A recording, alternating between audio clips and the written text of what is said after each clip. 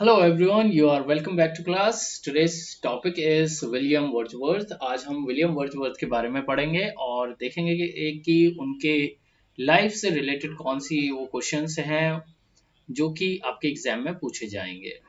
So here are some notes related to William Wordsworth first of all we will talk about his life and career and later we will discuss his all work so let's start now William Wordsworth the second of five children वो अपनी जो brothers and sisters थे, उनमें, उनका जो number था, वो second था and he was born on 7 April in 1770 Cockermouth in Cumberland his mother died when his age was 8 उनकी जो मदर थी, उनकी डेथ हुई थी जब उनका, उनकी एज खुद की एज 8 इयर्स की थी. His father John Wordsworth died when he was only 14 और जब वो चौदह साल के थे तो उनके फादर की भी डेथ हो गई थी। His early education started from seventeen seventy eight from grammar school अगर आप देखेंगे कि ये जो ग्रामर स्कूल वर्ड आप लोगों को दिखाई दे रहा है तो ब्रिटेन में अगर हम ग्रामर स्कूल की बात करें तो उसका मतलब ग्रामर स्कूल में सिर्फ़ ग्रामर नहीं पढ़ाया जाता है it is kind of government schools there okay so you should know this fact as well. Later, he went to St. John's College, Cambridge in 1787 for higher studies.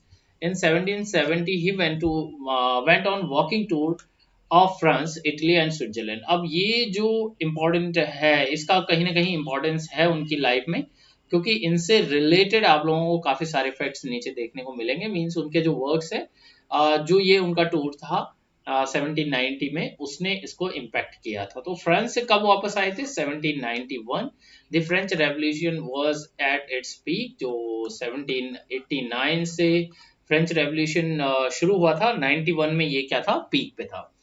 तो यहाँ पे एक और इम्पोर्टेंट चीज़ आ जाती है कि कई सारे लोग ये मानते हैं कि जो रोमांटिसिज्म था, वो 89 से ही शुरू हुआ था 1789 से। लेकिन कई सारी बुक्स में ये भी आप लोगों को दिया रहता है लेकिन आपको अगर रोमांटिसिज्म का स्टार्टिंग पॉइंट माना जाए तो आपका 1798 ही माना जाता है। Wordsworth was strongly influenced by the revolutionary spirit जो रेवोल्यूशनरी स्पिरिट थी उसने काफ़ी ज़्यादा इम्पैक्ट डाला उनकी लाइफ में और उनकी पोइट्री पर। During his stay in France, he fell in love with a French girl belonging to a family with strong uh, royalist whose name was Annette Wallon. अब Annette Wallon के साथ उनकी he fell in love with her और तो Annette Velan के साथ में उन, उनकी शादी तो नहीं होती but they got a daughter उनकी एक डॉटर थी उसका नाम था Caroline this love affairs reflected in the poem Vaudracour and Julia तो ये जो वाटरकोर एंड जूलिया उनका वर्क है जो कि उन्होंने पब्लिश किया था 1820 में in book ninth of the prelude prelude में। ये आपका किसके बारे में था या किसको रिप्रेजेंट करता था, वो था आपका एनेट वेलन को ठीक है तो ये लव अफेयर के बारे में था। तो कई बार क्वेश्चन इसी तरह से पूछ लिए जाते हैं कि एनेट वेलन से रिलेटेड जो लव अफेयर था उनका, उससे रिलेटेड उन्होंने कौन सी पोएम लिखी थी? Wordsworth met ST Coleridge in 1796 and his meeting created a new era in England, English poetic world और एसटी कॉलेज से मिलने के बाद उनको आ, उनके लिए एक हम कहेंगे इंग्लिश लिटरेरी वर्ड में पोइटिक वर्ड में जो 1798 की हम बात कर रहे हैं उसमें वहाँ से एक नया एरा शुरू हुआ था एक नई एज शुरू हुई थी। Towards the close of 1799 Wordsworth settled with his sister sister at Towns End in Grasmere वो चले गए ग्रेसमेयर में। October 1802 he married Mary Hutchinson जो मैरी हचिनसन से उनकी शादी होती है, वो थी 1802 में and started to live along with his devoted sister जो डॉरथी थी, उनके साथ में वो ग्रेसमेर में रहना शुरू हो गए थे। Later he shifted to Rydal Mount Ambleside where he lived with maximum time यहाँ पे जो राइडल माउंट पे वो रहे, वो अपनी लाइफ का मैक्सिमम टाइम वहाँ पर उन्होंने बिताया। Both places belong to lake district और इसीलिए क्योंकि ये लेक डिस्ट्रिक्ट से बिलोंग करते थे ये प्लेसेस इसीलिए उनको क्या कहा जाता है? लेक डिस्ट्रिक्ट भी आ, लेक पॉइंट भी कहा जाता है।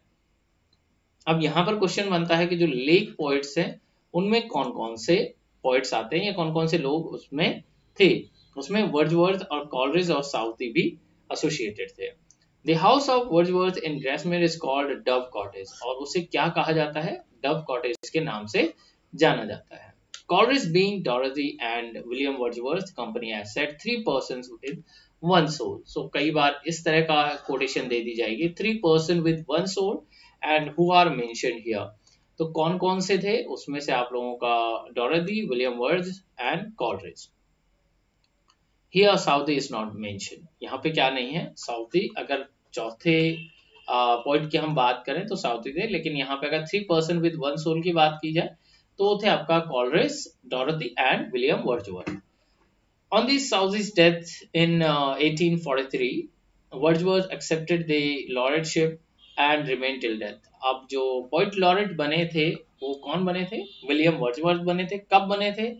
uh, 1843 के बाद। क्योंकि उसमें सऊदी पहले पोइट लॉरेट थे और उनकी डेथ हो गई थी। He died on Saint George day in 1850 उनकी जो डेथ हुई थी वो 1850 में हुई थी। He was buried in the Grasmere churchyard उन्हें ग्रेसमेयर में ग्रेसमेयर चर्चयार्ड में उन्हें बरी किया गया था। From his childhood was inspired by the work of Fielding Don Quixote and uh, Swift. He belonged to the group of Tory और उन्होंने कौन से ग्रुप से वो बिलोंग करते थे? वो टॉरी से बिलोंग करते थे। was highly influenced by the political justice of Godwin. अब पोइटिक करियर को उनका डिवाइड किया गया है फोर पार्ट्स में. Poetic career divided into four periods first one a 1793 to 97 early period of immature writing तो जो कोई भी राइटर होता है, उसका एक इमेच्योर पीरियड होता है जब वो मेच्योर राइटिंग नहीं कर रहे होते हैं। तो उस पीरियड को अगर हम बात करें वर्ड्सवर्थ के बारे में तो 1793 से 1797 तक था। 1798 to 1805 the period of gloom यहाँ पे इसे पीरियड ऑफ़ ग्लूम कहा जाता है। 1806 to 1814 the dominant period of the glorious decade 1815 to 1850 the period of decline so, ये चार पीरियड में उनके वर्क्स को डिवाइड किया गया है। now here in uh, uh, if we'll say his important poems his important poems are here the evening walk poem uh, of Wordsworth first poem of Wordsworth तो उनकी पहली poem जो कौन थी वो थी आपकी evening walk let me tell you if you are preparing for TGT, PGT, UP, TGT, PGT or uh, LT or lecturer exams, you can contact us on our WhatsApp number for courses and notes.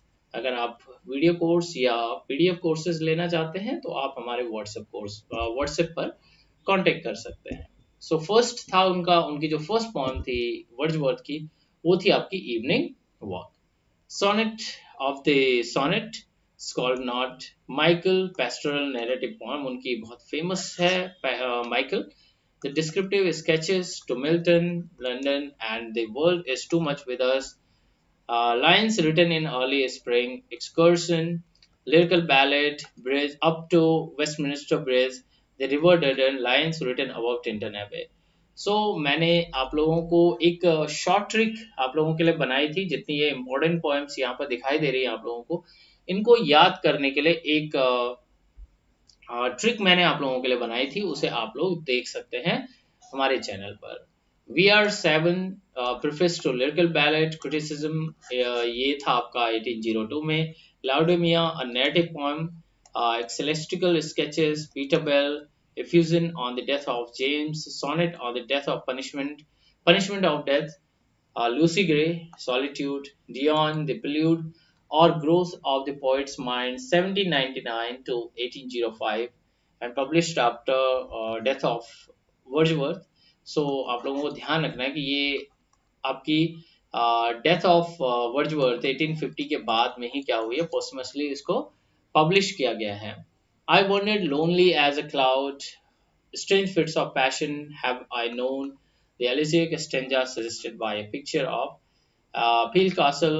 white doe the Yarrow revisited mother and Goody Blake Here are some of the other works Immortality Ode, 1802 to 1805, uh, 05, Ode to Duty, The Idiot Boy, Happy Warrior, Highland Girl, Resolution and Independence, Lease Gatherer, The Solitary Reaper, Early Spring, The Affliction of Margaret, and The Ruined Cottage, Three years she grew, sung at the feast of Brougham Castle, the brothers' guilt and sorrow, the fountain, Ruth, the Ruth or influence of nature.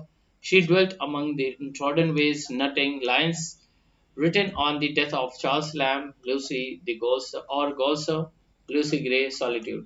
So so, कई बार इतने सारे works याद करना हमारे लिए थोड़े से मुश्किल पड़ते हैं इसीलिए अगर हमें कोई शॉर्ट ट्रिक मिल जाती है तो शॉर्ट ट्रिक से होता ये है कि कम टाइम में आप इन्हें अपने ब्रेन में इस्टेब्लिश कर सकते हैं और कभी अगर राइटर से एसोसिएटेड कोई वर्क पूछ लिया जाता है तो इजी हो जाता है हमारे लिए उसको आंसर करना। Daffodils Simon Lee to a stepping westward French revolution the beauteous evening sonnet nuns, fret not, the borders, tragedy. So, these are the works by william wordsworth. Now, let's come poems. जो Lucy poems है, उनकी category आप लोग देख सकते हैं। Strange fits of passion have I known it is one of the Lucy poem written in 1799 published in 1800 it is a beautiful lyric and communicates the poet's feeling. So, आप लोगों को बस इतना याद रखना है कि जो पब्लिश हुई थी 1800 में होती और ये उन्होंने जर्मनी में लिखी थी। जैसे कि मैंने ऊपर आप लोगों को बताया था कि जब वो मीन्स ट्रैवल कर रहे थे तो उससे रिलेटेड क्वेश्चंस बनते हैं और पूछ लिए जाते हैं। I travelled among unknown men ये भी 1799 में लिखी गई थी। Genesis of this poems remain remains a mystery she dwelt among the untrodden ways in this poem poet speaks about Lucy a young beautiful girl who was very dear to poet three years she grew in sun and shower it was published in 1800 यहाँ पे question इस तरह से पूछा जा सकता है कि आप लोगों को कोई भी एक ग्रुप बना दिया जाएगा और उसमें आप लोगों को थ्री पॉइंट्स यहाँ से दे दी जाएँगी और चौथी पॉइंट कोई और होगी। इस तरह से भी पूछी जा सकती है और चार में से तीन कोई और पॉइंट दे दी जाएगी और एक लूसी पॉइंट दे दी जाएगी। तो आप लोगों को ग्रुप पूछा जाएगा कि क्या ये लूसी ग्रुप से है या नहीं है। A slumber did my spirit seal ये भी है। It is not included in the series बस compose at the same time यहाँ पर उसे कंपोज किया गया था।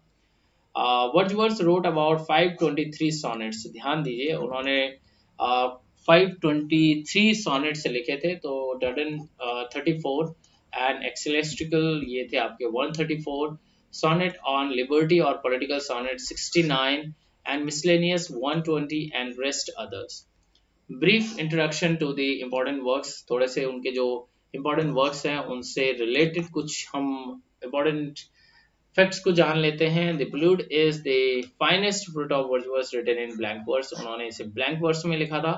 और ये ऑटोबायोग्राफिकल वर्क है अर्ली लाइफ एंड चाइल्डहुड को इसमें बताया गया है।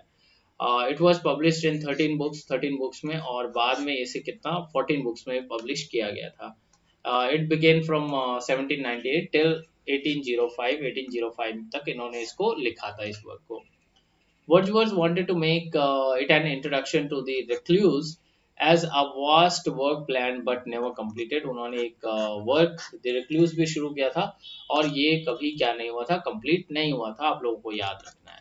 The starting this poem the title the poem to Coleridge पहले इसका जो पोएम था इसको उन्होंने द पोएम टू कॉलरिस लिखा था it was dedicated to Saint Col uh, S T Coleridge उनको एस टी कॉलरिस को उन्होंने इसे डेडिकेट किया था। Later S T Coleridge describe this poem as growth and revolution of an individual mind by Coleridge ठीक है तो आप लोगों को ये फैक्ट्स याद रखने क्योंकि जो टीजीटी और पीजीटी लेवल के एग्ज़ाम होते हैं, वो आपके फैक्ट बेस्ड ही होते हैं। Present title was given by Mary Wordsworth when it was published in 1850 after Wordsworth death यहाँ पे थोड़ी सी डिटेल्स आप लोग देख लीजिए, क्योंकि इनसे आप लोगों को क्वेश्चन पूछे जाते हैं वर्ड्सवर्थ वाले पार्ट से।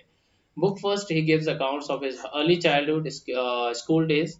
Uh, sorry. Book second, accounts of uh, university days at Cambridge. Book fourth, he describes how he returns home after losing paradise, nature. And uh, fifth, initial as book, Wordsworth recounts the early debt to literature. Sixth, he resumes the story of Cambridge. Book 6, uh, he describes the residence period in London. Book 7, he gives a philosophical retrospect of his whole period of preparation. Book 9, he describes visit to France. Uh, अब ध्यान दीजिए कि visit to France उन्होंने कौन सी book में किया था ये था आपका नाइन्थ uh, में his growing interest in humankind.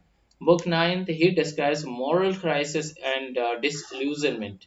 It was in Book 10.